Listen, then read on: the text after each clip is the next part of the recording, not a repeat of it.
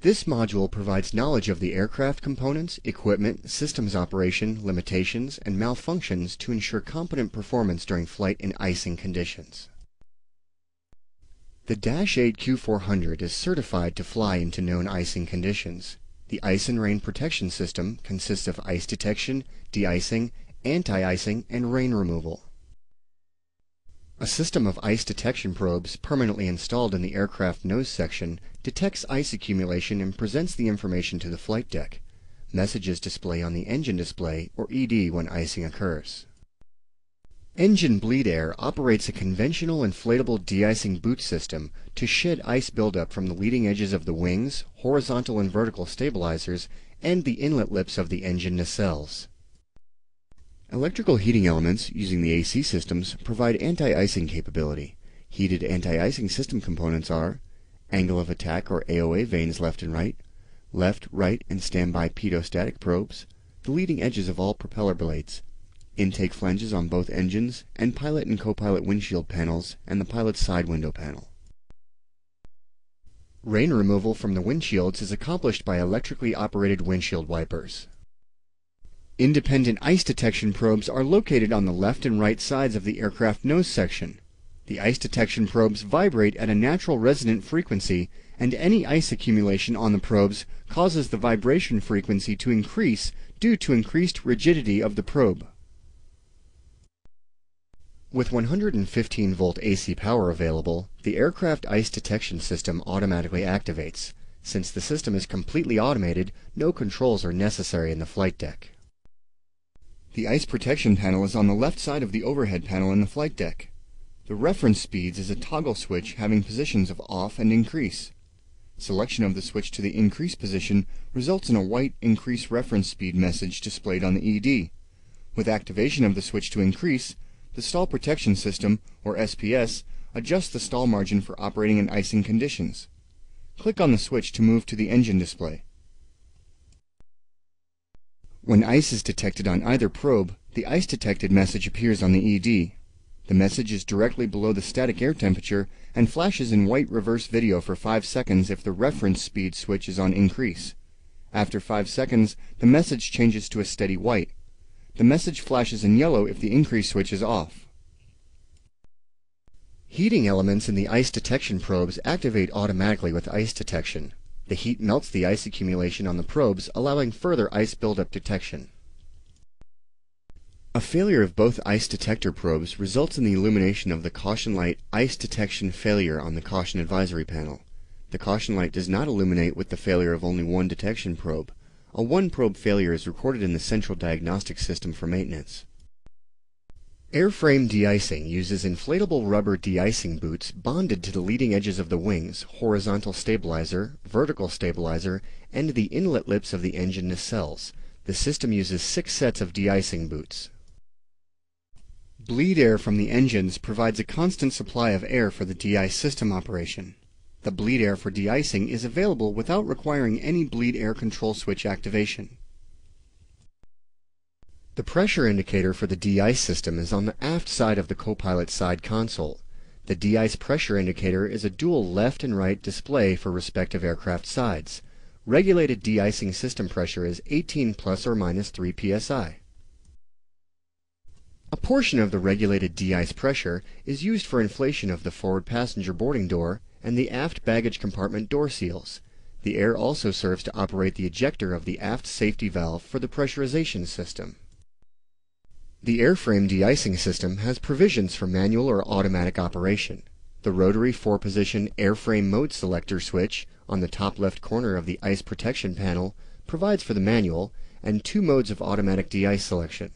Switch position markings are off, slow, fast, and manual. The slow and fast positions are the two modes of automatic operation. When the dual distribution valves open, the de-ice boots inflate. The dual distribution valves apply suction to the boot sets when not inflated to hold the boots flush with the leading edges. The dual distribution valves have integral heater elements that automatically operate at static air temperatures of 5 degrees Celsius and lower. The dual distribution valves and check valve heaters are under control of the timer and monitor unit or TMU. The airframe mode selector placed in the automatic slow or fast positions activate and deactivate the dual distribution valves through the TMU. Click on the heater to see the next indication. Continuous activation of the dual distribution valve heater elements in the event of a TMU failure is possible by selecting the airframe mode selector switch to the manual position. The left and right sides of the airframe de-icing system connect together through an isolation valve. During normal operations, the valve remains open, allowing the system to operate as a whole unit. The isolation valve is controlled using the boot air switch on the overhead ice protection panel. The switch at the lower left corner of the panel has two positions. Isolation, which indicates that the isolation shutoff valve is closed, and normal, which indicates that the isolation shutoff valve is open. Selecting the normal position ensures adequate de-ice pressure to both airframe sides in the event of single engine operation. Click on the boot air switch to close the isolation valve. The isolation position closes the valve, isolating the left and right bleed air supplies to the de-ice boots. The isolation position provides the means of checking the integrity of each boot set on each side individually. It also provides a method of isolating the left and right sides in the event of a system pressure leak. Having the boot air switch in the isolation position requires manual boot operation. Cycling through the boot set inflations, a noticeable lack of adequate pressure during the inflation of a boot set with the boot air switch in the isolation position indicates a possible leak. The automatic boot operation with the airframe mode select switch in the slow position inflates and deflates the boots in a 3-minute cycle. The inflation time is 6 seconds for each of the 6 boot sets for a total inflation period of 36 seconds, followed by a dwell time of 144 seconds before the inflation cycle resumes.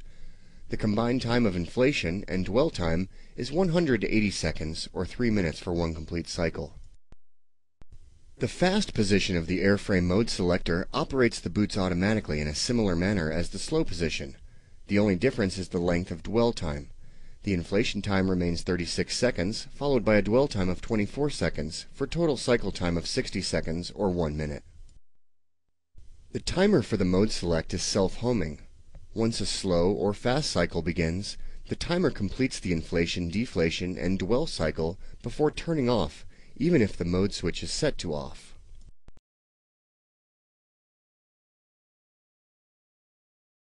The automatic mode of de-icing, whether slow or fast, commences inflation starting with boot set 1.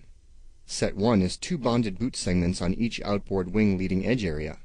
Set 2 is just inboard of Set 1 and has two segments bonded on each wing leading edge. Set 3 consists of the leading edge boots outboard of the right engine nacelle and inboard of the left engine nacelle. Set 4 is just the opposite of 3, inboard of the right engine nacelle and outboard of the left engine nacelle. Set 5 consists of the inlet lip of the left engine nacelle, the upper leading edge segment of the vertical stabilizer, and the inboard horizontal stabilizer segments. Set 6 is the inlet lip for the right engine nacelle, the lower leading edge segment on the vertical stabilizer, and the outboard segments on the horizontal stabilizer. The ice protection panel provides an aircraft graphic having green indicator lights for boot inflation. The lights for each boot set illuminate as they are inflated. The illumination provides an indication that adequate boot pressure of approximately 15.5 psi is inflating the boot. Operation of the de-ice boots in the manual position with the airframe mode select switch provides a backup if the TMU fails or a system leak develops. The airframe manual select switch on the right upper side of the ice protection panel and opposite of the mode select switch is an 8-position selectable rotary switch. Six positions are for the de-ice boot sets and two positions are for off. The airframe manual select switch selects the boot set for inflation and keeps the boots inflated for as long as the switch is set to that position. The operator of the switch has in effect become the timer. At the completion of the inflation cycle of all six sets of boots when using the manual mode, observe a 24 second minimum dwell time prior to commencing another inflation cycle.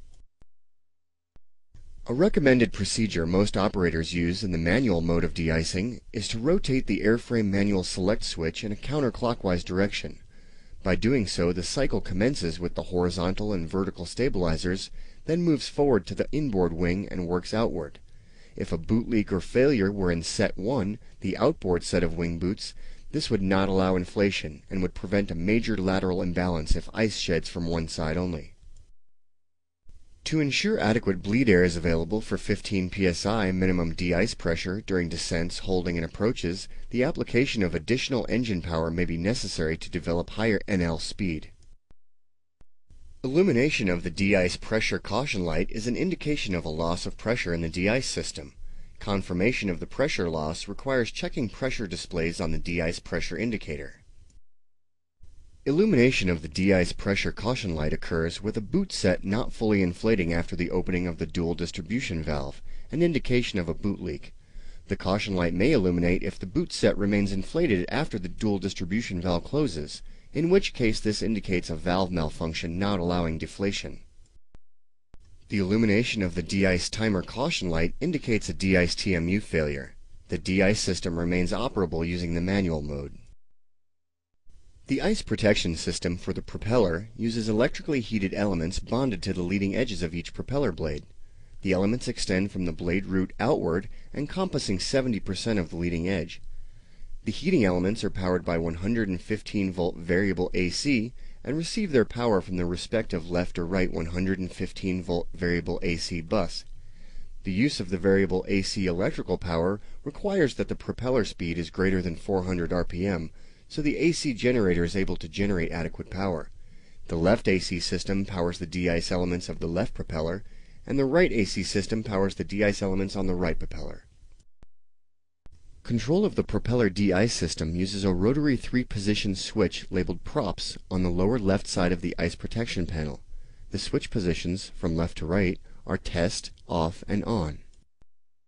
Identical timer monitor control units on each side control the propeller de-ice system. The units monitor propeller speed, total air temperature, and the propeller de-icing system for faults.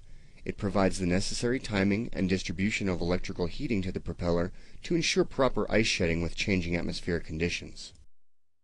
A selection of on with the props rotary switch activates the propeller de-icing system provided that the total air temperature is at or below 5 degrees Celsius AC power is available, and NP is greater than 400 RPM. Meeting the conditions required to activate propeller de-ice, the on selection of the prop switch simultaneously heats all six blades of the left propeller first, followed by heating all six blades of the right propeller. The two circular green lights for the propellers at the front of the aircraft graphic on the ice protection panel illuminate when heating occurs on the related propellers. The prop switch is spring-loaded from the test position back to off. For the test, the NP must be greater than 400 RPM to provide 115 volts variable AC. The test function overrides the weight on wheels and TAT circuits for test activation. Holding the switch in the test position activates the propeller de-ice system heating sequence. The heating elements cycle for 7 seconds with the left propeller heating first, followed by the right. The green advisory light illuminates as the related propeller heats. A 30 second cooling period is necessary prior to the start of another test. This requirement prevents overheating of the blade elements that have little airflow during a ground test. The propeller de-ice caution light illuminates if a TMCU fails or is not powered. The light illuminates if one or more propeller blade elements are not heating or a major failure of the propeller de-ice system occurs. Integral heating elements in the pitot-static probes prevent ice from accumulating. The three probes are located below the windshields on the aircraft, with the number 1 on the left side, number 2 on the right side, and the standby on the right side behind the number 2 probe. Switches labeled pitot static control the activation of the heating elements and are located on the lower section of the ice protection panel. The switches are two position toggles with labels indicating the off position and identifying the switches from left to right as standby 1 and 2. Click on the standby pitot static switch to see the power source. The number one pitot-static probe element heat power supply is the left 115 volt variable AC bus C phase. The number two pitot-static probe heat power supply is the right 115 volt variable AC bus C phase. The standby pitot-static probe heating power source is the right 28 volt DC essential bus. The monitoring and controlling of the probe heaters is a function of separate modules of the TMU. The appropriate caution light, pitot heat 1, pitot heat 2, or pitot heat standby illuminates if the related probe switch is in the off position. The caution lights illuminate if the related probe power source or heater element fails.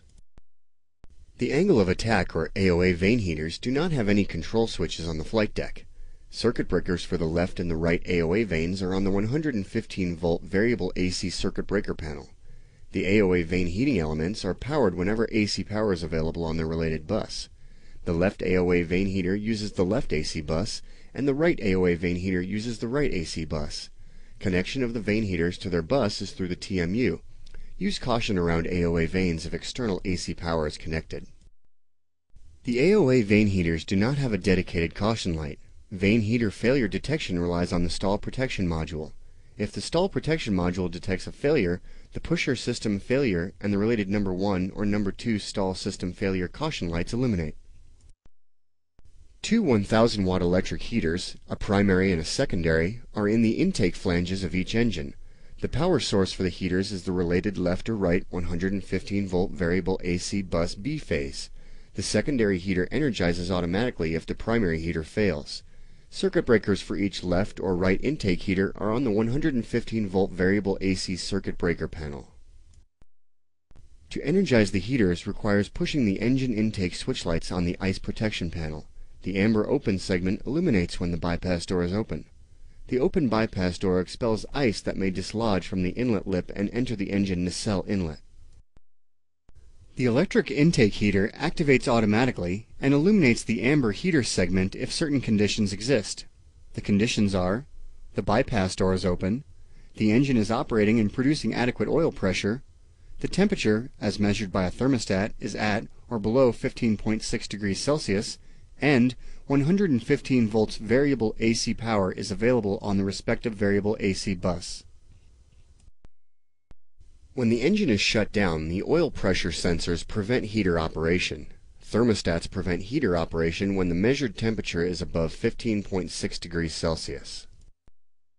Pressing the engine intake switch light with the bypass door open and heater operating causes the following actions. The bypass door closes, the heater deactivates, the amber open heater segments on the switch light extinguish, and the lower green closed segment illuminates to indicate the bypass door is in agreement with the selected switch position. A failure of the primary intake heater does not activate a caution light. However, the fault is recorded in the central diagnostic system for maintenance review. The secondary heater activates automatically with the failure of the primary. If the primary and the secondary heaters fail, the related engine adapter heat 1 or engine adapter heat 2 caution light illuminates. Engine oil heats the aft part of the engine intake flange. The low temperature limit of the green arc on the oil temperature indicator changes from 0 to 65 degrees Celsius with an on or test selection of the prop switch. Remember to maintain engine oil temperature for inlet ice protection. Windshield heat, side window heat, and windshield wiper switches are located on the windshield control panel below the ice protection panel. Electrical heating of both windshields and the pilot side window provides anti-icing and mist prevention. The three-position rotary switch on the left side of the windshield control panel selects windshield heat. The warm-up position supplies both windshields heating and half power from the left AC bus. Unless recently canceled by the manufacturer, a restriction is in place on the use of the warm-up setting for any operation either ground or airborne because of system anomalies. The warm-up position is used to prevent thermal stress to the windshield glass because at the normal position the glass can become very hot. The normal position heats each windshield at full power supplied by its related 115 volt variable AC bus left or right. The heat switch for the pilot side window is the pilot side window heat two position toggle on the right side of the windshield control panel. When set to on, power for the pilot side window comes from the right 115 volt variable AC bus. Only the forward part of the side window incorporates the heating elements for anti-icing. Two anti-ice controllers, or AIC, monitor and control the heating elements for the left or right windshield as related. Failure of an anti-ice controller illuminates the windshield control caution light. An overheat condition of either windshield illuminates the windshield hot caution light. The right anti-ice controller monitors and controls the heating element in the pilot side window. An overheat condition in the pilot side window illuminates the side window hot caution light. An overheat condition in any of the three heated windows automatically deactivates the affected window heating element. A single wiper switch at the center of the windshield control panel controls both wipers. The rotary switch has four positions, park, off, low, and high. Positioning the selector to off from either the low or high position stops the wiper blade at its existing position. When the spring-loaded switch is held in the park position, the wiper blades move at low speed, stopping automatically at the park position at the lower edge of the windshield. On the pilot side console is a guarded alternate wiper push-button switch light. Pressing the switch light illuminates its green on segment and operates only the pilot's wiper at high speed. Click on the on switch to turn on the wipers. A prod attached to each wiper arm, angled up and forward, is referred to as an ice spigot, providing a means of visual ice accumulation detection. On both pilot side consoles is a windshield wiper ice detect push button that turns on a light that lights the spigot in conditions of darkness. This concludes the ice and rain protection module.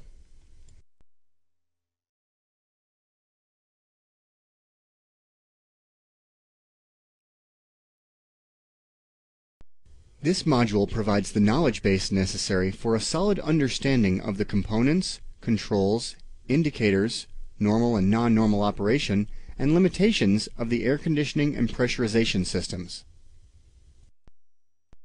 The Dash 8Q 400 bleed air system is the supply source for the aircraft's environmental system. An air conditioning pack cools the bleed air to a desirable temperature and humidity prior to delivery to the distribution ducting which serves the cabin and flight compartment. The bleed air system also provides the aircraft with pressurization.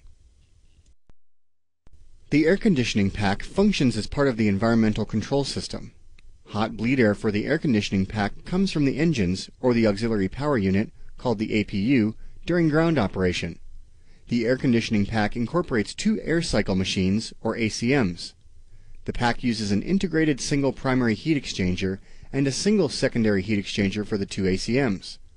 The design of two ACMs with a single heat exchanger provides a much larger heat exchanger when only one ACM is operating. Ducts supply conditioned air to the cabin and the flight compartment. Engine bleed air flows to the air conditioning system by selecting the bleed switches on the air conditioning control panel to the on position. Ground operations require the engine bleed switches to be off for bleed air to flow to the air conditioning system from the APU. Pressing the bleed air switch light on the APU control panel activates the APU bleed air on. If the engine bleed switches are on, bleed air from the APU is inhibited. The air conditioning packs are in the unpressurized aft equipment bay. A recirculation fan mixes cabin air with the conditioned air from the packs and provides airflow through the ducting back to the cabin and flight compartment. An emergency ram air ventilation system is available to provide flight compartment and cabin ventilation if there is a dual ACM failure resulting in the loss of pressurization. The air conditioning control panel is on the right side of the overhead panel. In addition to controls for the engine bleed air, there are controls for the ACMs, referred to as packs, temperature regulation controls, a recirculation fan switch, and a selector with a gauge to monitor duct and cabin temperatures. The upper left toggle switch on the panel turns the recirculation fan on and off. The fan is mounted behind the aft baggage compartment with the air conditioning pack. The fan draws air from the passenger cabin through a recirculation filter mounted behind the baggage compartment. The recirculated air mixes with the pack conditioned air and moves through the air distribution system to the cabin and flight compartment. Click the switch to see the next indication. The selection of recirculation is the on position for the fan. The electronic control unit, also called the ECU, controls the fan speed.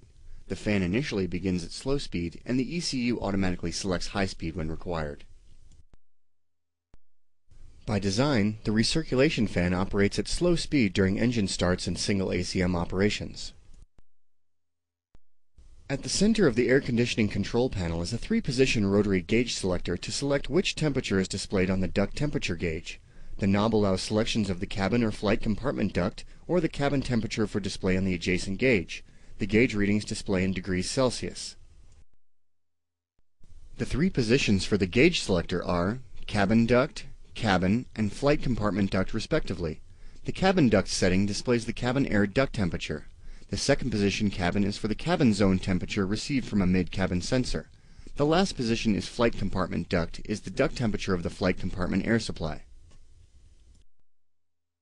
The three position pack switches are located below the gauge selector. The switches select the ACMs to an automatic or manual operation mode, or to off, which shuts down the ACM.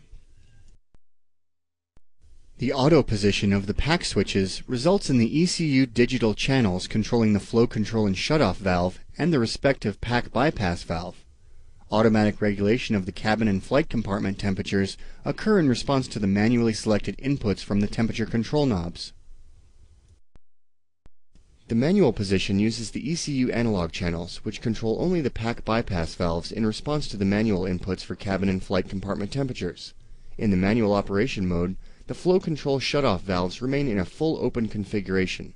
This is because the engine high pressure bleed ports remain closed with the analog channel controlling. Placing both pack switches in the off position results in the ECU closing the flow control shutoff valves, the turbine shutoff valves, and shutting down both ACMs.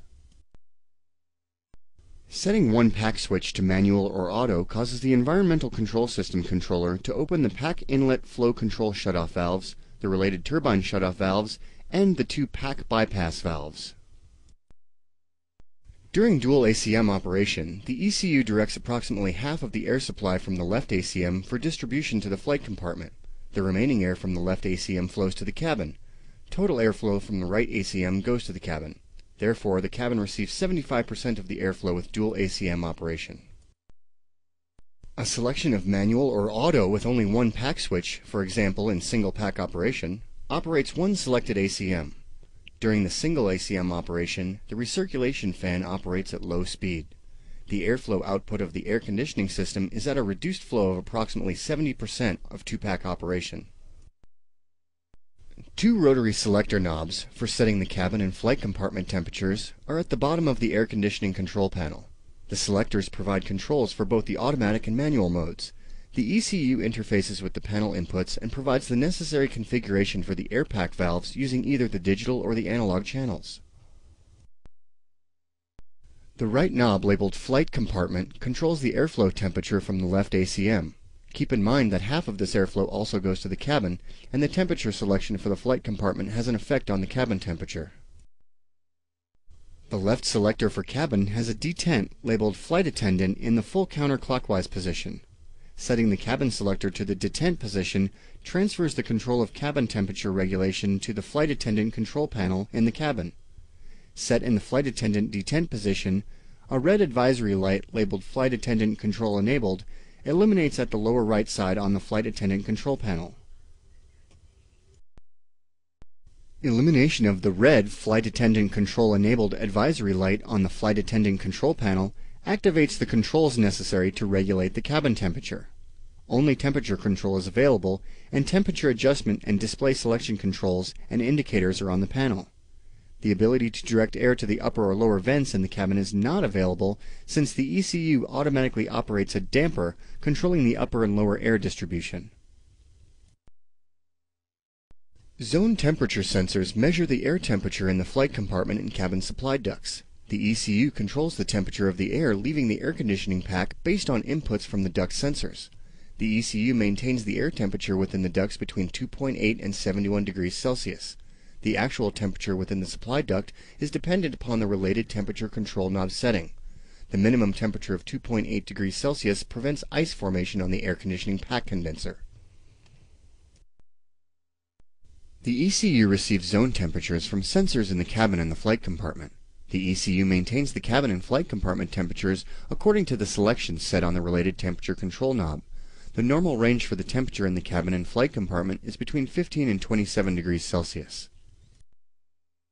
A separate sensor located at right side and mid cabin provides the cabin temperature for display on the air conditioning control panel gauge. Air flows from the air conditioning pack through ducts to the cabin and flight compartment. A split duct at the pack outlet divides the cabin and flight compartment conditioned air. The flight compartment air provides pressurization, heating and cooling, and side window demisting. Prior to reaching the flight deck, the duct supplies conditioned air to the aft baggage compartment inlet the forward flight attendant position gasper, and the lavatory gasper. Two identical individual distribution systems provide air to the left and right sides of the flight compartment.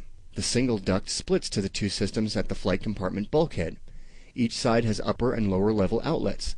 The upper level outlets demist the side windows through three nozzles at each window for the pilot and co-pilot. The lower level outlets deliver air to foot warming piccolo tubes near the rudder pedals, a large torso gasper forward of the side panels, and a fixed grill near knee height. Flow control levers in the flight compartment are located near the window sill. The levers regulate the airflow through the valve that controls the airflow to the side window demisters and the small gasper outlets above the aft end of the pilot and co-pilot side panels. The conditioned air supplied to the cabin provides environmental comfort and pressurization. The duct from the air conditioning pack to the cabin is at the center of the rear pressure dome from where it goes beneath the aft baggage compartment floor at which point it splits into the upper and lower ducts for each sides of the fuselage. The upper air distribution ducts provide conditioned air to the passenger service unit, also called the PSU gaspers, and the sidewall downwash and the ceiling upwash vents. The other duct is the lower cabin distribution duct supplying the dado panels at floor level along the sidewall. The distribution of air to the upper or lower duct is a function of the distribution damper. The damper, located at the split from the single to upper and lower ducts, automatically positions based on the temperature in cabin supply duct. The right digital channel of the ECU provides the control to actuate the electric motor driving the distribution damper. The damper valve remains in its last position in the event of a failure in the right digital channel or the electric motor. Three position switches for the distribution damper provide discrete signals to the ECU. The switches provide the positioning data for full warm, middle, or full cool. The ECU uses signals from the temperature sensor in the cabin zone supply to regulate the mode warm, standard, or cool. During heating operations, most air flows to the lower dado panels and some to the upper PSU panels.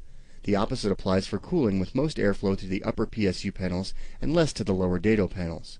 During standard temperatures, the ducts receive a balanced airflow.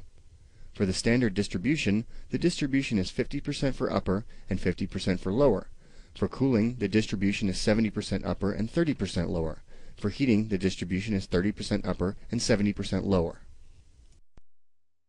An inlet and an outlet ventilation valve provide for air circulation in the aft baggage compartment. The valves operate automatically and close with the loss of electrical power or if smoke is detected in the compartment. Valve position status is visible on the fire protection panel. The left and right digital channels of the ECU control the on and off function of the related left or right pack, which is the same as ACM. The control closes the related turbine shutoff valves to turn the system off. The air conditioning system will shut down and close the flow control shutoff valves if both pack switches are in the off position, the ECU built-in test function detects an unacceptable condition on both sides, or an overtemperature is detected on both sides by two or more pack overtemperature switches. If the cabin pack hot or flight compartment pack hot caution light illuminates, the associated pack shuts down. Also, if the cabin duct hot or flight compartment duct hot caution light illuminates, the associated pack is shut down. A pack overheat condition shuts down the related pack and illuminates the related cabin pack hot or flight compartment pack hot caution light. The caution light remains illuminated until the condition is cleared and the related pack switch is in the off position. An overheat condition in either the flight compartment duct or the cabin duct closes the turbine shutoff valves for the related pack. The condition illuminates the related flight compartment duct hot or cabin duct hot caution light, and the related pack bypass valve modulates towards closed based on signals received from the ECU. This action is to aid in cooling the duct. The related caution light remains illuminated until the related pack switch is at off and the condition or the built-in test faults have cleared. An external ground air conditioning connection is on the aircraft aft right side.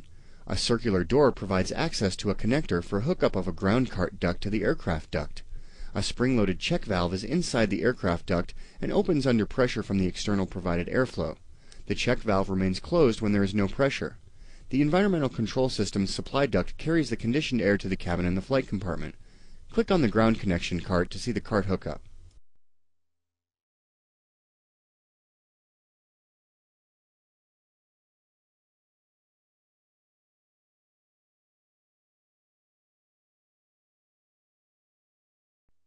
Engine bleed air, processed through the air conditioning system and distributed to the cabin and flight compartment, provides aircraft pressurization.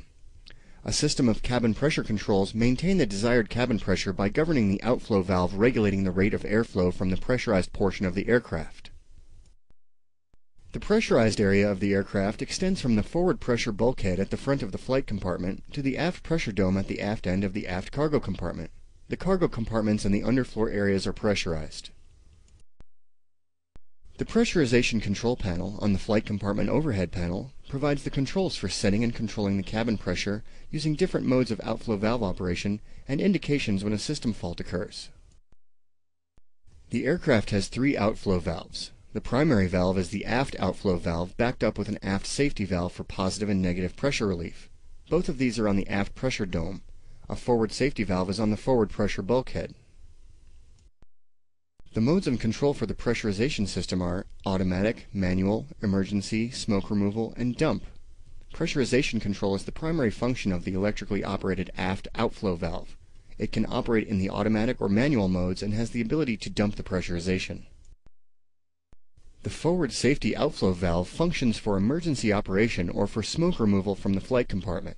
The forward and aft safety outflow valves have positive and negative pressure relief valves. The pressurization control panel has a fault light segment.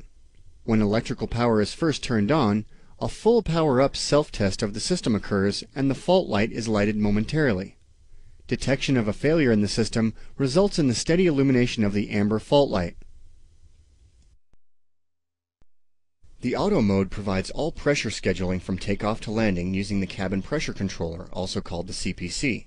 The auto mode requires the three-position auto manual dump switch on the pressurization control panel to be in the auto position. This position automatically modulates the aft outflow valve maintaining a pre-programmed cabin altitude schedule. Aircraft pressurization does not occur on the ground if the power lever angles are less than 60 degrees because the aft outflow valve positions to fully open. The aft safety valve also opens on the ground with the APU operating or at least one engine operating at idle.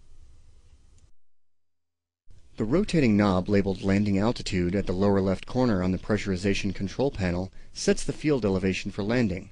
The elevation setting displays on the landing altitude indicator above the knob. The landing elevation is set prior to takeoff. The aft outflow valve modulates as necessary to provide for the takeoff sequences of pre-pressurization and flight aboard after takeoff once the power levers are at angles greater than 60 degrees. The aft outflow valve moves from the fully open position as the takeoff commences. An automatic pre-pressurization occurs to prevent a pressure bump during the takeoff sequence. The cabin pressurizes to 400 feet below the elevation of the takeoff location. The pre-pressurization rate is 300 feet per minute. This requires selection of the bleed air switches to the on position.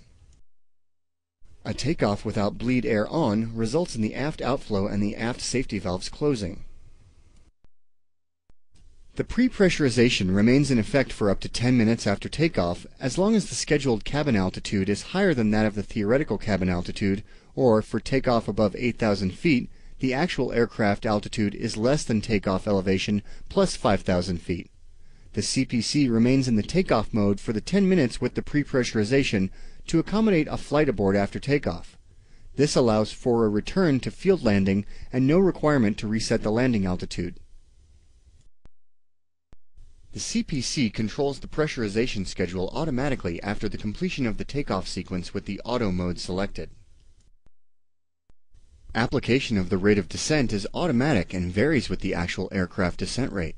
The three scenarios are if the aircraft is descending 2300 feet per minute or less, the cabin descends at 300 feet per minute, a normal descent. If the aircraft is descending at an increased rate, giving the cabin a descent rate between 300 to 1000 feet per minute, if the aircraft descent rate is greater than 3,000 feet per minute, the cabin descent will be at 1,000 feet per minute.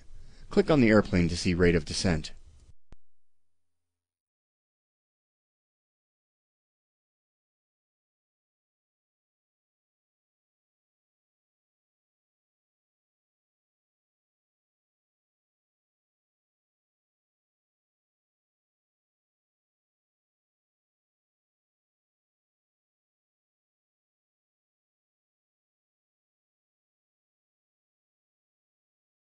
Pressurization control is automatic during landing.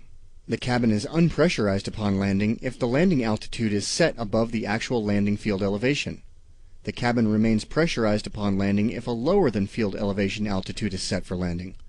After a pressurized landing, the cabin descends to the field elevation before bleeding to ambient pressure as the aft safety and outflow valves fully open.